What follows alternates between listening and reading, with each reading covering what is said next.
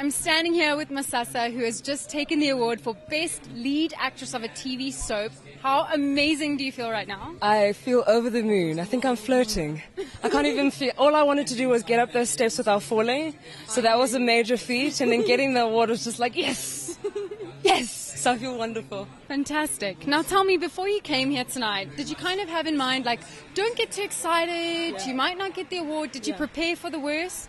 I absolutely prepared for the worst. I think that's my nature.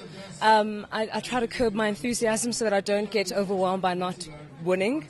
And so tonight I was constantly going, keep calm, keep calm, just be here, just be here. If you don't win, it's okay, but be here. And so just hearing my name was just so overwhelming. Probably one of the most amazing moments of my life. Now I could see you being moved emotionally on stage. Tell me, what does this award mean to you? I mean, like I said, it's just such an incredible validation. You know, we, we really want to know that people see us, that we're just not living in this vacuum and no one's recognizing us, or if we go, no one's going to miss us. And so I love. I, I, this means so much to me. It, it means that I'm on the right track. I mean, I've had so many times where you doubt yourself and you're like, oh, I should have done a law degree. Now look at me on this casting line waiting. And um, this is just a beautiful validation that's it's good that I took the red pill.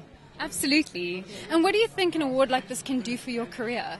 I'm hoping now that Bomb Pictures is going to cast me in a film or drama series, Dear Bomb. Hint, hint. Hint, hint, nudge, nudge. I'm hoping for films that are going to pay me. I don't want not to be paid. She's got one of those now. actress I mean, you have no excuse.